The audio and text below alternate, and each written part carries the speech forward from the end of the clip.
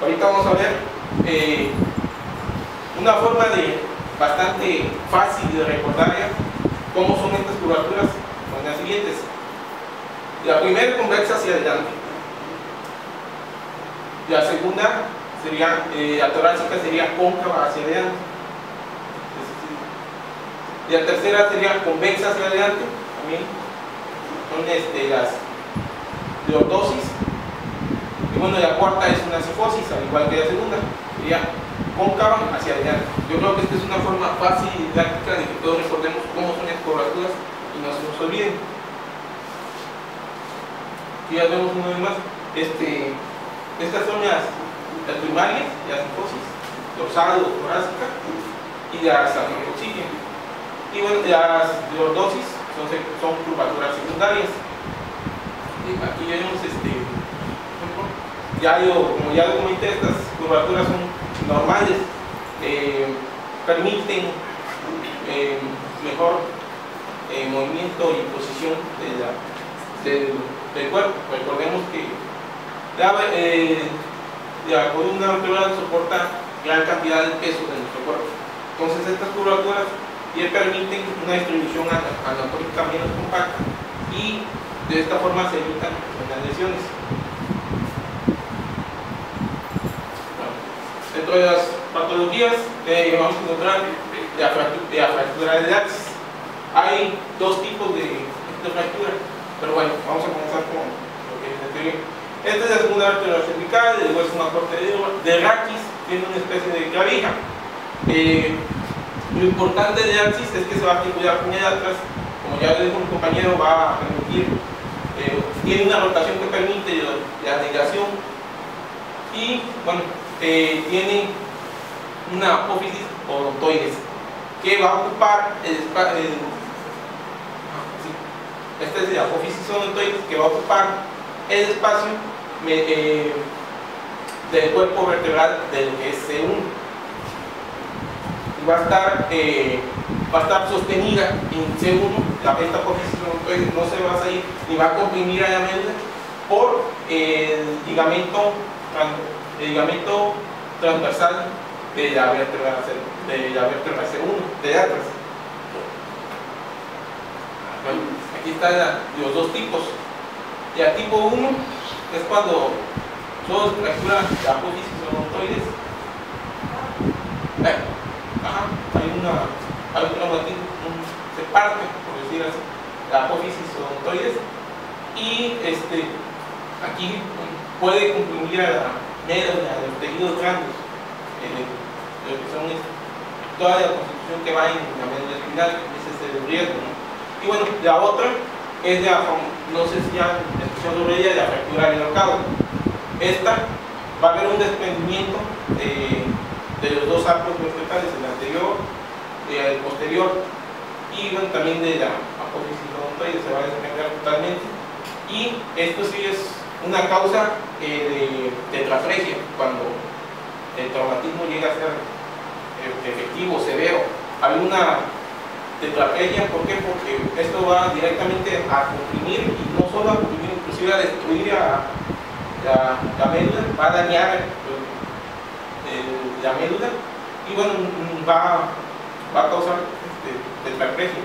No va a permitir los movimientos de los cuatro miembros, ni superiores ni inferiores. Y la siguiente patología es la estenosis espinalubar. Esta estenosis, aquí ya podemos ver, como su nombre indica, lo vamos a encontrar en las vértebras de C1 a C5. La más constante, la más eh, repetitiva es L3 y L4 eh, aquí vemos el cuerpo vertebral, el espacio reducido que tiene el disco. Este también puede ser una causa de la estenosis. Y bueno, esto, ¿qué significa estenosis? Una reducción. Entonces aquí va a haber una reducción del canal medular y va a haber una compresión a la médula. Eh, recordemos que aquí ya no va tal como tal médula.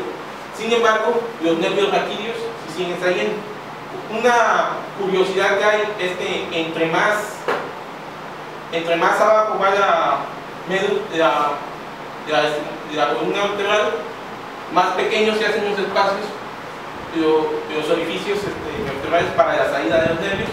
Y sin embargo, bueno, más espacio va a ocupar eh, lo que es en este caso la cola de caballo, va, a necesitar más espacio. Entonces, exacto, precisamente por eso, los nervios van a ser más gruesos y se va a comprimir el canal al, intento de, la salida de los nervios para inervar, para dar inervación motora, y bueno, esta puede ser degenerativa o puede ser congénita. Aquí vemos una radiografía. Eh, vemos estenosis, es la misma imagen, solo que acá tenemos mejor definidos los elementos. Aquí vemos cómo claramente la, vértebra está comprimiendo a la cadena nerviosa que no está permitiendo lo que es este, la salida.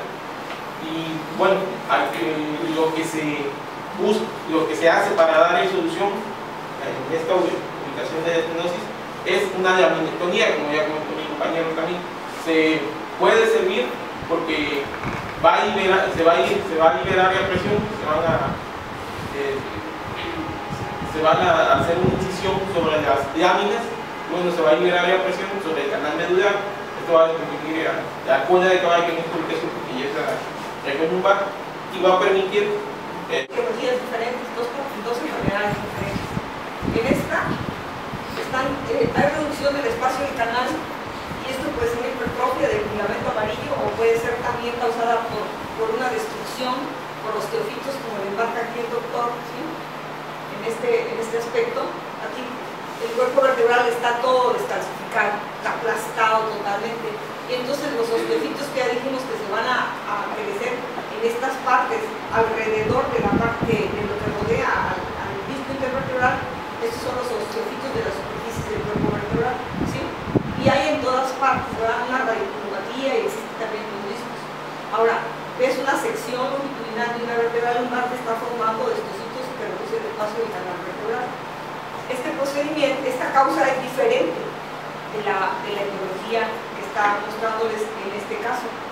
En este caso, la etiología, bueno, la lesión es la misma, ¿sí? pero ¿qué tienen aquí? Una protrusión del disco intervertebral eh, si el doctor quiere hacer una laminectomía en este sitio no podría hacerla, porque la laminectomía está atrás y el cuerpo está anterior.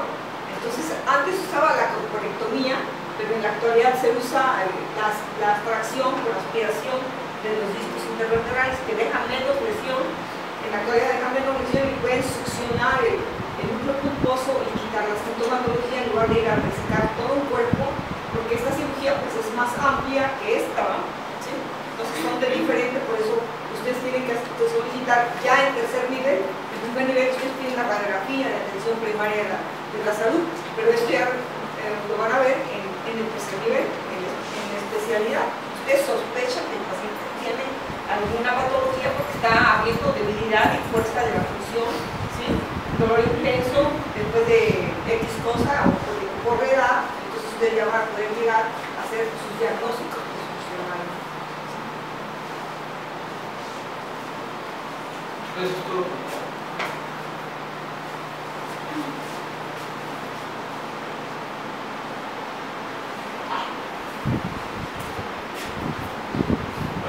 Otra patología, perdón, son las este, costillas cervicales.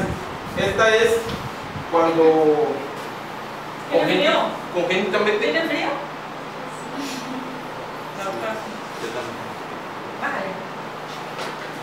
cuando congénitamente eh, se crea o se forma una, se construye una costilla más y bueno, está articulada normalmente con la vértebra el C7 de uno y esta va eh, aunque aunque solo aunque no sea una una este, ¿cómo se llama? una una costilla completa sino con que solamente sea un elemento fibroso que discurra desde la desde la desde la médula desde este, desde la médula bueno, sí va, va a comprimir los este, elementos que pasan este, en la parte anterior del tórax. Eh, bueno, aquí vemos eh, la arteria, la vena y el nervio están comprimidos. Va a haber una disfunción de estos mismos por eh, la existencia de una costilla cervical. Esto va a ocurrir entre el 1 y el 2% de la población. Es, más que ahí yo no veo una primera costilla. Ha ido más bien un espacio cerrado entre la clavícula y la primera costilla. Sí, la primera costilla cervical es lo que ocurre.